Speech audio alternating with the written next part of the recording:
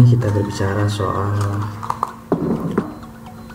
bantuan apresiasi budaya yang telah dikeluarkan oleh Menteri Kependidikan dan Kebudayaan ataupun Mendikbud Divisi Budaya.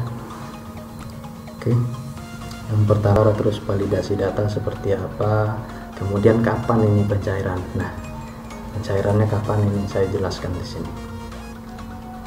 Oke untuk sementara uh, pertama kita harus login ke APB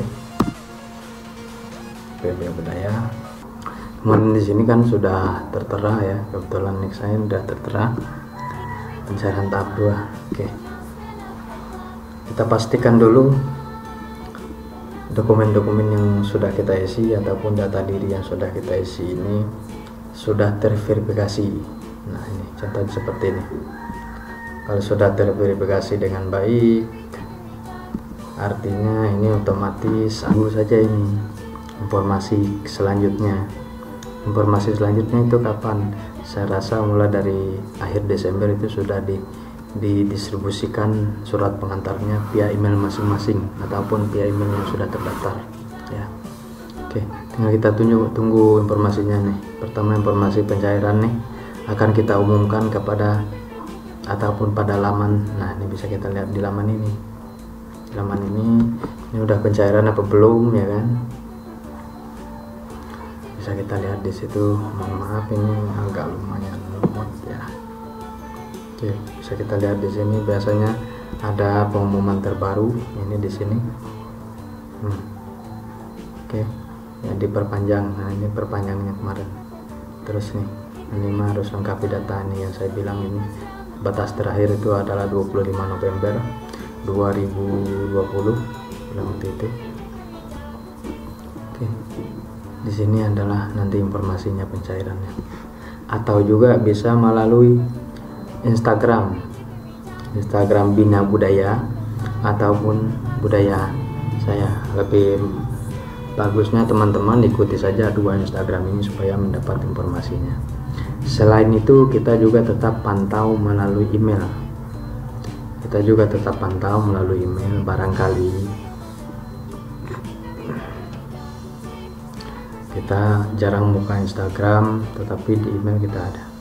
Ini biasanya dia akan langsung uh, apa namanya dokumen rekening Anda, rekening bank atas nama Anda akan kami kirim melalui email yang telah Anda setelah permohonan pembuatan rekening disetujui oleh bank penyalur. Jadi maksudnya ini apabila misalnya bank penyalurnya itu adalah BRI sudah disetujui dan dokumennya akan dikirim via email kita.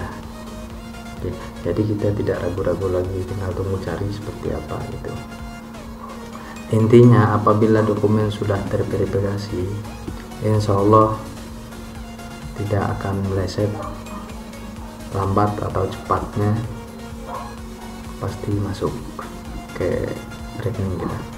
Oke kemudian kita ini kebetulan saya nih sebenarnya sudah dapat surat pengantar via email ya.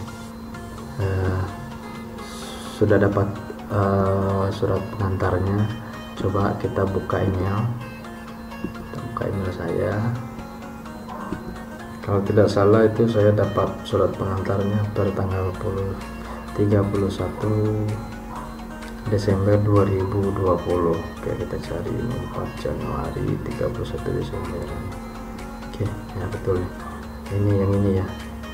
Ini 31 Desember 2020 di sini kan ada dokumen juga ya oke tinggal kita buka. Kemudian kan ada dua email nih pada tanggal 31 nih ya.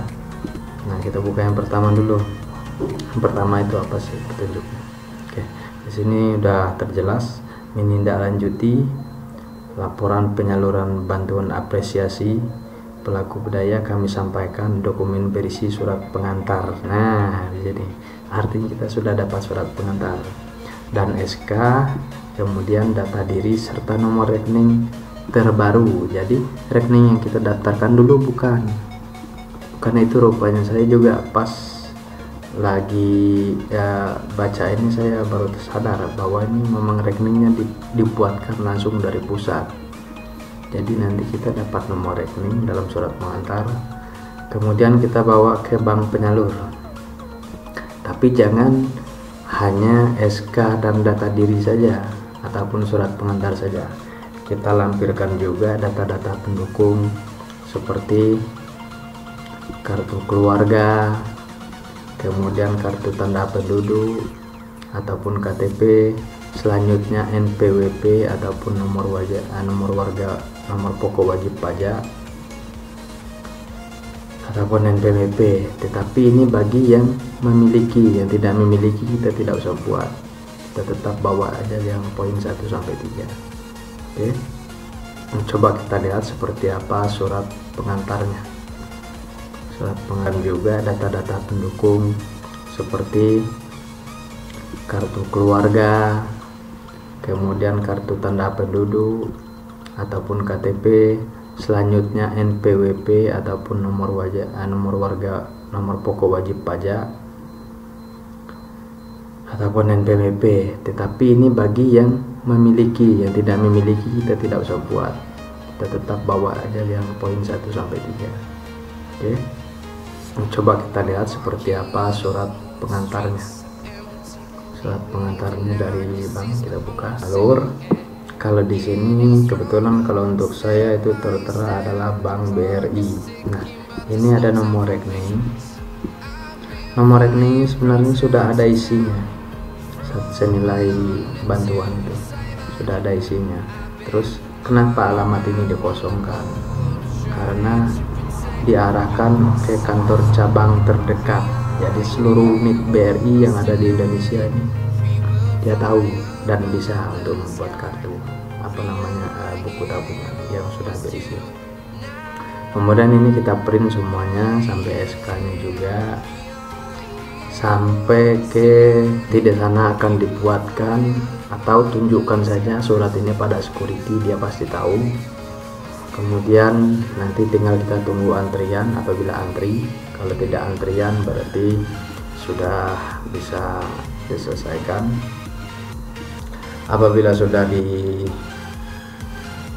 buatkan teknik teman-teman mau tarik saat itu juga boleh atau ah, untuk disimpan sementara juga boleh yang intinya bantuan ini nih bisa bermanfaat buat teman-teman semuanya uh, baik itu nilainya besar maupun kecil yang penting ada manfaatnya buat teman-teman semua ya. oke okay. uh, video kali ini cukup sampai di situ dulu itulah